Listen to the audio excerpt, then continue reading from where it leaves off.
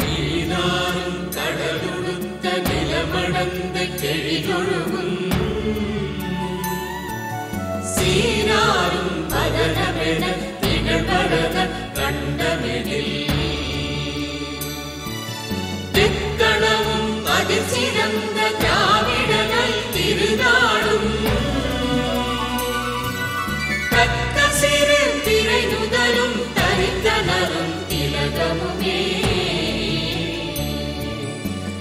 அத்திலக வாசனை போல் அனைத்துலகும்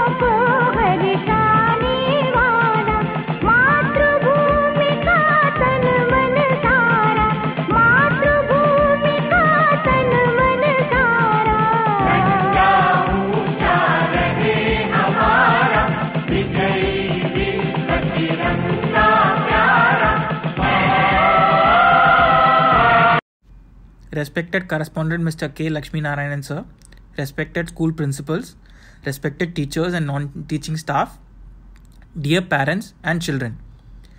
Republic Day wishes to you all. I am proud and honored to give this speech.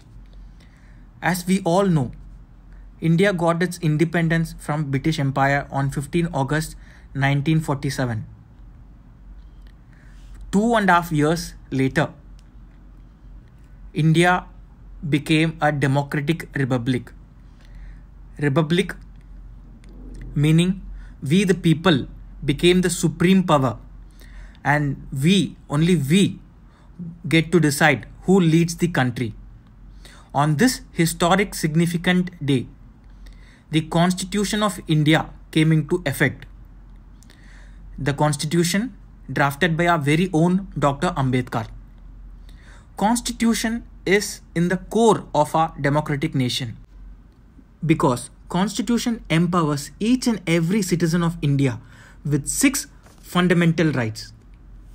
Right to equality right to freedom right against exploitations right to freedom of religion cultural and educational rights right to constitutional remedies. Now few years back the constitution was amended to include one more crucial right. Yes. Right to education was included. Education became the fundamental right of every citizen between age 6 to 14 years. That was the significance and importance of education that a need was felt to amend the constitution itself. Dear students not many nations have this privilege of having education as their basic right. We indians we are fortunate enough to have education to get education in these quality institutions and get to choose a variety of options the education system offers. Students you have to utilize this benefit to the utmost advantage for you are the gem of a nation you are the future you decide where our economics our technology our nation will progress for us to become a superpower you are the crucial element students learn what is taught to you but always have a hunger inside you to learn new things. Learning is a never ending process. Even after you finish your schooling, your college, even when you get to work, when you retire, the learning in you will keep you updated, will keep the fire burning inside you, will keep you competitive. You have to be competitive. This world has only one rule, one law the law of jungle. It is survival of the fittest. For you to survive, you have to get updated. So, don't just mug up what is being taught to you. Yes, mug up might fetch you some marks, but they are only for a shorter term. Truly understand what is being taught to you. Try to learn, understand the concepts.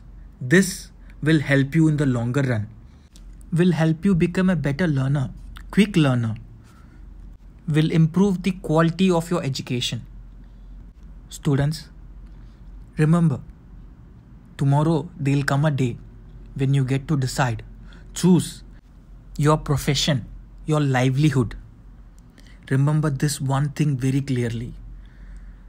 You are going to do the same deed every single day for the rest of your life. So choose a profession that you'll love to do. You will be interested, excited to do that job because today, tomorrow, for next 5 years, 10 years, till the time you retire, you are going to do that same job. No profession is small or big. All professions, jobs have their own significant role in this society to play.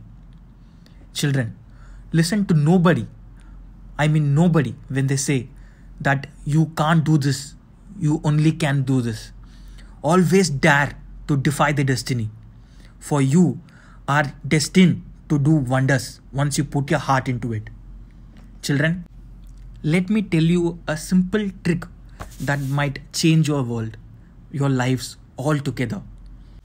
Always set yourselves targets, achievable goals. Now, let's say it takes 12 months to achieve them as per your assessment. Try to do them in 6 months. By God, 6 months. It doesn't matter if you fail the first time because now the second time when you try it, you will already be in a position far better than your initial one because you are twice as prepared than earlier and you are bound to succeed. This is how we progress in life.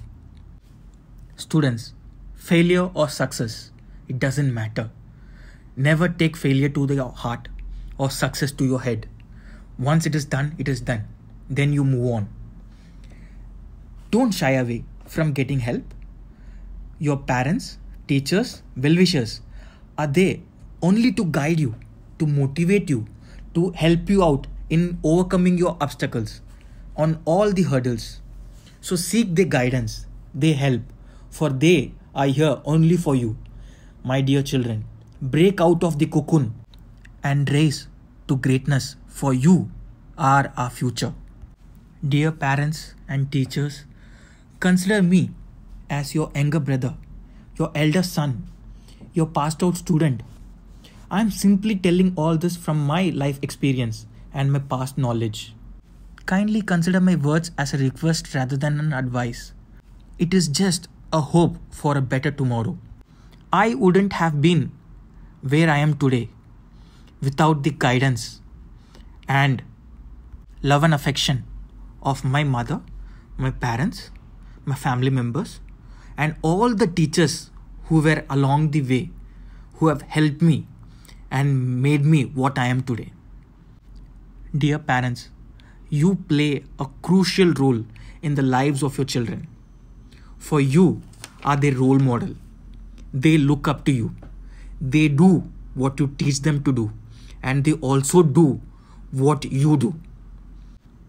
Appreciate your children. Appreciate all the good deeds and feats they have achieved, no matter how small they are. Encourage your children to take up new things. Don't restrict them to the set goals standard of the society. Let them explore new things. Only when they explore new things, they will come to know which one they are good and how capable they are. Guide them. Don't force them into anything. Don't force them into taking life decisions which you want. Assess their capability, their capacity, and give them choices for which they get to choose their future. Make them as educated as possible. Support them in their path. There are examples where uneducated people have achieved success. That is not because that is a common practice. They are exceptional personalities, but even they required the help of educated people to get success in their lives. That is the significance of education. And parents, only you can give them this boon. My last request to all the parents out there it is your responsibility to groom your children into a better person than you for a better tomorrow. Instill in them the values of respecting others, appreciating what they have, to be kind and courteous to all the living things, to fellow humans, but also prepare them to face this cruel world out there.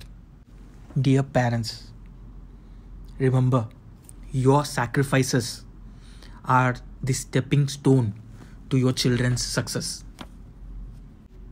Dear teachers, our heartfelt thanks in guiding us, inspiring us, and making us what we are today. For you are our modern age magicians. You are the beacon of light to all the students out there in these darker times. If you put your heart to it, you can even transform a petty rock into the great Himalayas. Every child is special.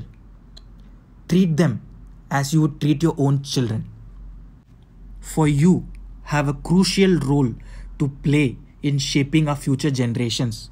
Only you can guide them, can inspire them, and motivate them and push them forward towards greatness despite all their mistakes, disregarding them and forgiving them.